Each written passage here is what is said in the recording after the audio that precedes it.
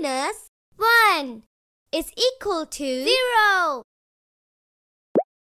3 minus 2 is equal to 1. 7 minus 5 is equal to 2. 6 minus 3 is equal to 3. 8 minus 5 is equal to 3. 3 minus 3 is equal to 0. 10 minus 9 is equal to 1. 10 minus 5 is equal to 5.